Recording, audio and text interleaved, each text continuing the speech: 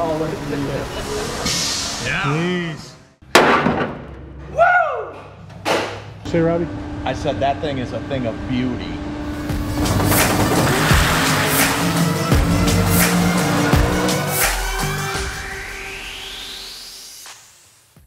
All right, guys. This episode, lots of stuff happening at the shop.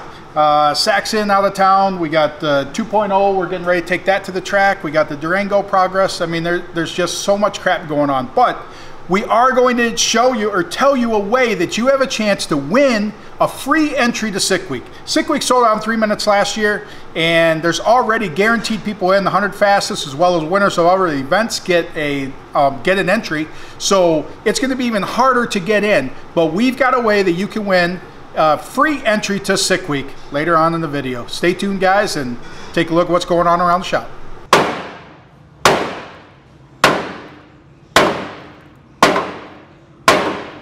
Man, I need a bigger damn hammer.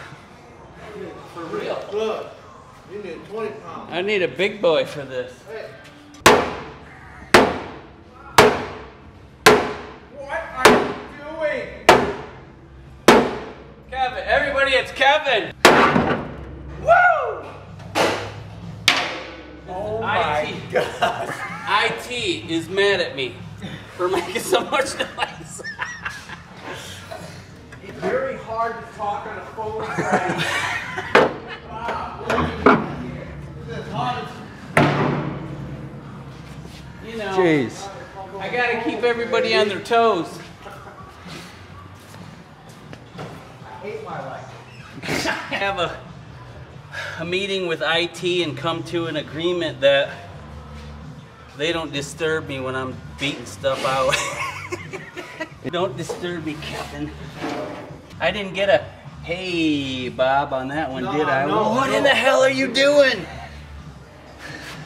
You can see that Tom's gonna lose his office because watch the door. Oh man. Tom's Tom's office is on the other end of the building. Yeah. Kevin's yeah, they should there. swap. Yeah, Kevin's right there. Okay, so Bobby and I had a little talk for the last two days, but because the dilemma's been how to do the chassis in this and whether or not do we try and make it like 2.0, a Pro Mod chassis with a body on it, try and fill it up. Do we try and make it like the ship box, which is a Pro Mod chassis, but still stretched out and still fills the whole body. Um, we're hoping to get back seats in this thing. Don't know if that's going to happen because just based on taking some of the dimensions off of the ship box and the dimensions we have to work with here, but we're going for style and quick over no style and really quick, right? Right. So More functionality. so, yeah, I mean, like I said, we're hoping to keep. Bobby said he's going to hide all the bars. So, like, when you look at this, you're not even going to see the funny car cage. Not even the funny. car. I'm gonna get it between. It won't right even. It's there. going to be, yeah. The pillar like- will cover it. Yeah, it's gonna be ultra tiny. But idea being like with any of this stuff is that I mean you're dealing with you're dealing with your dimensions and you got to fit the you got to fit all the bars in there that have to go in there, but you also have to try well you don't have to, but we're trying to fit four people in there possibly. So we don't know if that's going to work, but when you look what you have to work with to get the thing on the ground and you think you have unlimited room when you look at this big old box and then as we start to like figure out where bars are going to go and where stuff's going to go like the room shrinks quickly but that's that's the dilemma. Bobby is laying bars today. Today, today. Today, shit is gonna happen. all right so got the plates you said you got that plate in the machine Yep, running this one right now. cool and then you said this is what top fuel Uh, this is the Pro Mod Okay. alcohol idler, so it's the same thing that we'd run on any screw blown or roots blown Pro Mod or tractor pull or anything that's not a top fuel. The only difference is the top fuel guys on the back plate have two little ears for a long snout support rod because they're real hard on stuff, obviously. Very similar though.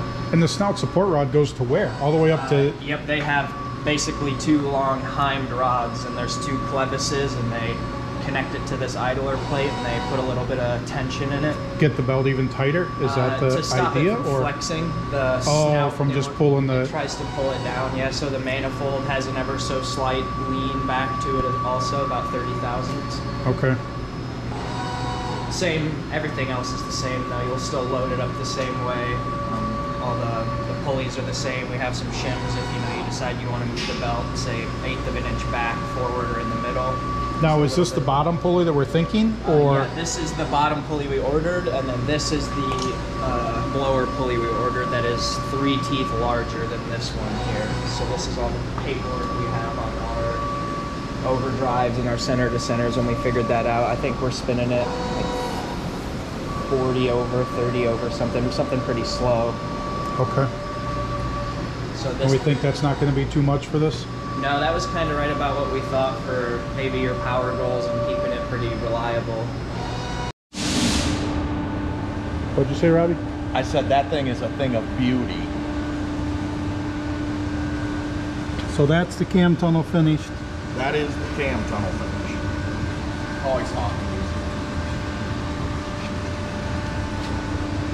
Edit that part out. Why?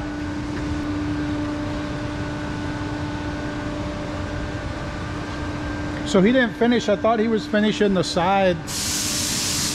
That, that's on the rotisserie. When it goes up on the rotisserie, so to finish that. But it'll have the same finish as all that. Right. See, like these are the water jacketed inside. It'll have the exact same finish Yep. as all of this in here. Now, has this been connected all the way down? No. That's on the. That's on the, once it gets up on the rotisserie. Gotcha. I thought he'd finish that before he went on vacation. That part of it. What? This stuff here. Oh, So- no, no, because you can't get to it with the clamps in the way. Gotcha. So that's when that plate will go on and So this end's plug. done. That end's done. Yep. Oh, this already has the cut for the This, rear. Yeah. Okay. Yep. Where we at on caps? We ain't done the caps yet. Did you bring the caps? Yeah, I got the caps for you. Okay. I was telling him about that. But yeah, no, that was because we can't reach that on the plate like it is, but he could get in here.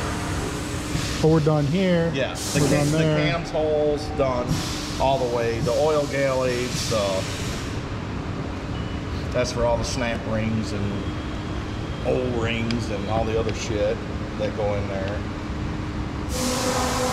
Um, and then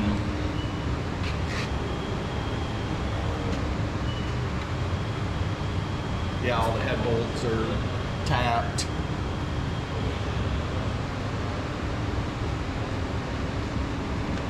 Oh, these are all done too. Yeah, yeah, they're all tapped done. So literally, we're done with yes. those three sides plus front side, back front side. side back side. We just got to get it on the rotisserie and do the bottom and the sides. But the the hard shit is done. Yes. Well, the hardest one was this. So, and and we've the cam tunnel. So that's consistent all the way, Yes. And it didn't didn't waver. It didn't flex No. at that end. No. Like even when it made the transitions. No. So no, actually, so this block had all the interrupted cuts when Right. we did it, and it was it came out perfect like that. So the the block that's in there won't have any interrupted cuts. So we know that's going to come out And what's the reason to do it? Because that went to heat treat Yep. and all of this work was done before we did the finished cam hole. So we rather do it without the interrupted cuts. So that's why we're doing it now. Gotcha. I mean, Now, are you guys doing the crank yeah, now too? yeah. So Because the this, the crank, crank has to be machined. It can't be. yes. So, but the crank will be finished. This side of the crank will be finished in the machine. Right. Before the bottom gets cut off. Yes. So it'll be going through a solid hole. So So this boring head isn't good enough to go through this one for the No. crank No. halfway? The roughing head is. No, Come here, look at no, this. no. I want it to go to do this half. Can it do Oh. that half? It did do that half, I think. No, it didn't. I don't. No, it didn't. You can't It do didn't. that when there's only one side. Yeah, you can. You can? Yes. How? It, it's in a sense just like as an interrupted hole. See how where the lifter holes are and stuff? It, it's in just an interrupted hole. They could sit there. Paul could do that, Why but he would rather do it with the, with the cap on. Gotcha. But yes, we could actually cut that. With that boring head? Because Yeah. I thought we'd have to cut it the other way. No. Just come down and just cut it. Yeah. So have you seen these this tools? I've seen tools before. No, you ain't seen tools like this before. This big, this big. Yeah, you ain't seen them tools. Check one, check two, check one, check two. Durango project, as it moves on and everything uh, continues to evolve. So last time you saw the Durango, we had it gutted. We had what we thought was going to be the stance for it. And then last Friday night, last Friday night, well today's Monday, so just Friday night, we went through trying to finalize everything. Bobby had some bars laid out in there, like estimated where the floor was going to be, where that stuff was. But we keep going over to this eight inch car and we keep looking at some of the stuff that Richie did in here, and we compared a lot of stuff. And what's crazy is that same height this car is roughly as that. This is actually the ship box is actually wider than the Durango, which I didn't think. I thought all the newer cars are wider than the older cars everywhere, but um, same thing with a width difference there. And as we look at the layout to try and figure different things out, but then Friday night, as I alluded to a little bit ago, Friday night we looked at it and we didn't like the stance. Well, what we actually did is we started measuring um, where the engine would sit. So, we gotta grab a tape measure here. Oh, here's a tape measure. Here's what we know. We know from the crank center line to the blower pulley center line is 25 inches. Well, the other thing is the crank should never be more than 12 inches off of the ground. And that has something to do with whatever, the way they wheelie or whatever. I'm not, as Bob would say, I'm not the freaking engineer. Like, I'm not anything, I'm just the idea guy. So, Bobby was, are you an engineer today, I'm Bobby? a painter today. Oh, he's a painter today. I'm a painter today. Okay, well, Or woodworker. so I can't ask him any questions about this because when he's in painter mode, he doesn't know anything about engineering. Maybe so, plumbing. I'm actually in intercooler mode right now. So either way, we take from the table right now and we say 12 inches, then we take the 25, that gives us, what's 12 and 20? Oh, you can't, you're not in your mathematician mode, are you? No, 37 37 inches. is what I would have came up with being a painter, but So there's 37. So that is the pulley on the blower. Um, and then we know we got 15 inches above that, which would take us to 52, would be the top of the hat. So when we looked at this Friday and started mocking this stuff up, that number was, well, the body sat different. It sat three inches higher than this. So if I just take three inches off, and I say 37, but now I make that 34, that makes that the pulley on the blower, which doesn't even come above the hood. You add the 12 to the top of the hat, and that's our 46 right there. So, yeah. So, therefore, that was the top of the hat. So we gained three inches by lowering the body three inches. And to do it, we took the rockers off. So as you can see, now the stance is a lot better. We only got the front tire in there, but lowered it down to where basically now the top of the rim is right there at the fender. To where obviously all this was three inches higher, but to get three inches off of this, the rockers had to come off so they can be closer to the ground. So that was the way to cheat it to get the engine higher, which gave us three more inches. But then, as Bobby, can you go into engineer mode for a second? maybe. Let's see. I'll give it a try. We gotta open the other door. So as Bobby will show you, it worked out well because the floor crossbars, all that would have had to have been where those bars are, probably would have still been the same, but they would have had to go three inches higher up to tie into the body. To where now, it's such a lot closer. Bobby, you can explain that dilemma. Oh, okay. So we didn't. I didn't want the car when you stepped in to actually drop down. So to keep the floor more flat and less material up above, all the floor link and stuff is in a much better position. So things we want to. We kind of want to put a set fourth, second seat in here, if we can. We're not really to the point to know that yet, but Well, and part of it too, four seater. they were doing because of with everything in here, and I guess, I guess whatever. We had Skinny over here, and Skinny described to us exactly how to build this as a pro mod. Then we slept on that for a night and said, unfortunately, we don't want it to be a pro mod.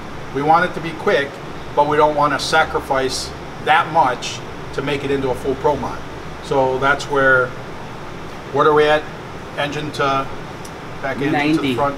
We're at 90. Skinny said you cannot do anything more than 86. So he started at 84, 82.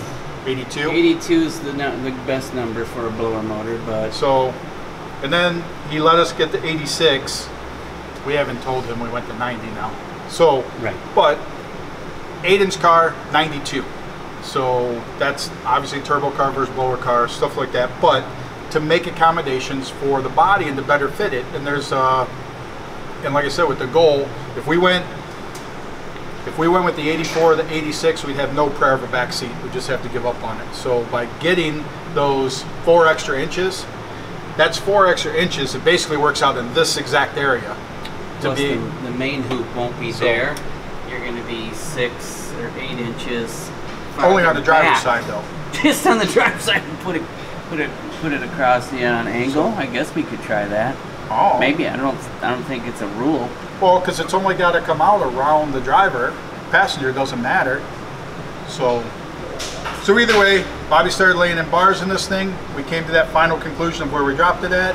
Um, that happened Friday night, and here we are Monday morning. And Bobby did all this stuff. He came in at nine, and it's noon now. But I was here yesterday. No, no, no, you weren't No, no, no. Yes, I did.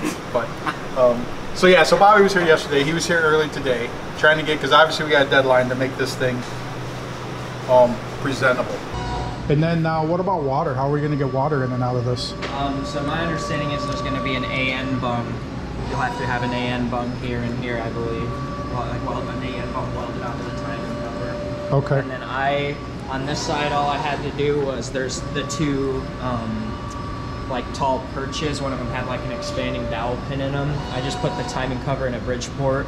You can see I just kind of cut it all flush on this side. Okay. Just cut it flush to this like mounting surface. That way this didn't have something pushing out. Then the same on this side. There was these ribs here that must have just been in the casting. And I just cut all of those off here. This wasn't really necessary in hindsight. Just like this section right where that wants to go. Gotcha. And then when the belt breaks, it always comes to driver's side, passenger side. trying to uh-huh. remember. Well, It'll want to go this way. So you would have like So we're gonna mount the alternator over here. I'm assuming That's kind of what we were thinking. Yeah, we haven't really made it that far, but just kind of looking at what we have to bolt it to. Right. Um, and then yeah, there'll be a belt guard that usually has like a long, just like aluminum. Yeah, that's plate. right. On Skinny's all the way down this side. Yep, Okay. come down to here, and then we have a. There'll be like a little. It's kind of like a long piece with a slot in it, and it'll slide into this piece, slide into here, and then uh, we do have another one that goes right here. Uh, but I, I guess that's somewhat optional. Okay. Not really sure. Because what water? I'm trying to remember where the water is on these. I think it's. Okay. I know this is one of them right here. Okay. I'm not sure if it's in or out, but we put this clearance in here for that, and then I'm really not sure. I want to say that That's it's small, but it's pretty small. oh, maybe it's a slit. Is that? That's possible, yeah. Uh, let me look at this back issue because we welded some man pumps on it before. Yeah. So it looks like. I mean, water there, there, out there, so that's what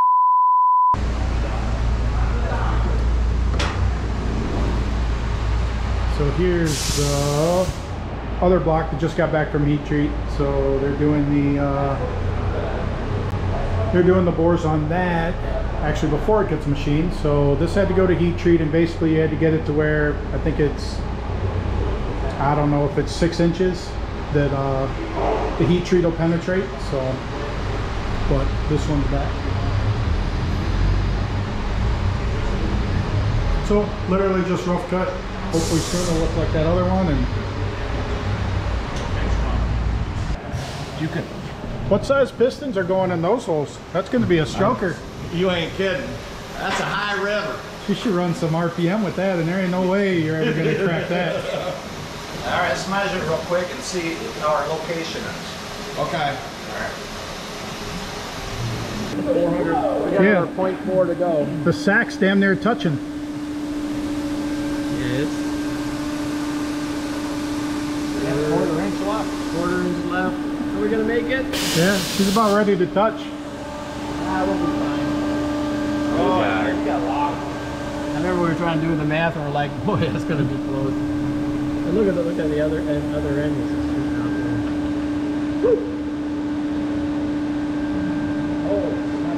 The bar is nice and clean. Great, it's cooling. That is a loud tool. That's what she said. Oh, look at Jeez. You know you were supposed to let the load go while you were still in there, Polly. Look, it's dripping out of his mouth. Race this weekend. Sack drove 1,500 miles from Wyoming to get here. And then he came with his normal list of like two or three things that needs to be done to his car to be ready. That list turned into 34, I think, as of last night, things. And it's ever expanding, but we cut him off and we won't let him talk about anything else. But but he's going to bigger turbo, so he said he will have everything cut, ready to go, and all Bobby has to do is weld when he gets here. Well, this game is a fully assembled car that he drove in here when he got here, and then he started disassembling it this morning. I did weld the, the cone to the V-band, then we cut it down and now it's tacked to the intercooler and now we're just doing a quick check to make sure everything lines up and fits the way we want it. And lo and behold, It don't. it doesn't fit. So, that's Sack's car, but changes to the Cowboy up, he put, what'd you do to it? Uh, on my last outing, I bent all eight rods, so we had to put rods in it and up the compression one point, gained two cubic inches. Oh, wow. It's two horsepower, one horsepower per cube. We're taking it all right now. It's a 376, so he's up to 376 horsepower. His old turbo, he didn't think could actually blow the thing up, so he went to a bigger his one to make sure that he could. back. So, but, so he's testing tomorrow, so that'll be big testing day tomorrow, so that'll be on that, and then more progression with Aiden's car. Sick Night's coming up here in two, three weeks. So we got the NMCA race this week, the shootout. We got PDRA shootout next weekend uh, down in Virginia. So we're US 131 this weekend, uh, PDRA, uh, Virginia Motorsports Park next weekend, and then Sick Night's coming up August 10th through the 12th. We're actually doing uh, a day of the pizza cruise. So Wednesday, the whatever the day is. Wednesday that week, Pizza Cruise at Sick Pizza. Thursday, we're doing a shootout at Milan Dragway, just more of a fun shootout testing for Roadkill Nights, which is that Saturday. So that and a barbecue, and then on Friday we're going to do um, six skids. So M1 Concourse, they're going to let us do Aussie style burnouts on the skid pad. So we got concrete barriers coming in. We got the the Blazer back there that we're going to do the burnouts in. That I'll do the burnouts in, but we got multiple other people coming. So uh, Doug Cook, they're bringing the Bald Regal up. Uh, Weston Chaplin's coming up and bringing the car. Uh, a lot of other people. So and all that's starting to fill in. So if you want tickets for that, definitely get over to the website and get your tickets for that. The the golden ticket. So the new issue of the magazine is coming out. It's at print right now, so it will ship out here in the next few weeks. We are doing for Sick Week, Sick Week to be announced, dates, location, yada, yada, yada. Can't tell you any of that details yet, but I can tell you Sick Week 2023 is coming. So And know that we already have 100 people that were the fastest 100 at Sick Week from last year that get auto entries to be able to get into the event. We also have the winners of the other events that have happened Rocky Mountain Race Week, Midwest Drags, uh, the North Carolina Drag Cruise, there'll be the Miles of Mayhem, all these other drag and drive events that the winners get an entry in. So you take all those away, and that pot of entries that to get into Sick Week is going to be even less than it was last year when it sold out in three minutes. So, um, so one thing we're doing is any current subscriber to the magazine. That means all the people that are currently subscribed, any new subscribers that are subscribed and active before the next issue ships will get a chance. We're sending out four golden tickets, random magazines to random people.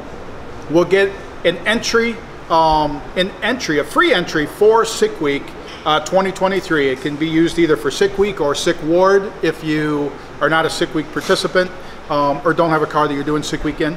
But so four random subscribers will get a free entry, and it's the golden, the Sick Golden ticket will be in those magazines and that's a way to get in because as quick as it sells out, as many people want to go, that is going to be, just like American Express says, it will be priceless, that ticket. It'll be right here, here, but we'll see. Uh, that's what I got for. We're going out testing tomorrow, so then there'll be more updates on that stuff. We got 2.0 over there. I got to get that. Switch over methanol and ready to go to the track tomorrow. Um, Zach will be there. Not sure else will be there, but that's what we got, guys. Thanks for watching. Please subscribe.